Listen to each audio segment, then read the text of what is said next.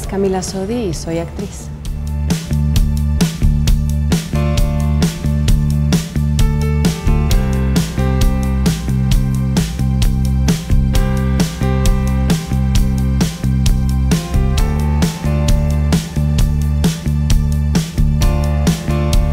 Poder no es el dinero y no es la fama y no es esta versión transgiversada que tenemos ahora en los, en los medios. Hay una sobresaturación de información ¿no? en esta era digital.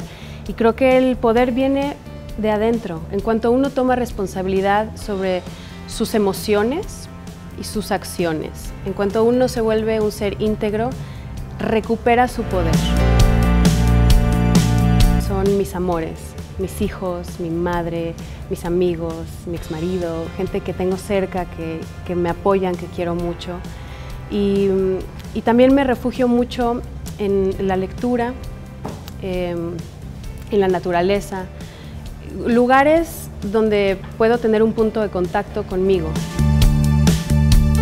Transformar tu entorno puede ser tan fácil como transformar tu actitud. En cuanto tú transformas tu actitud, tu entorno cambia.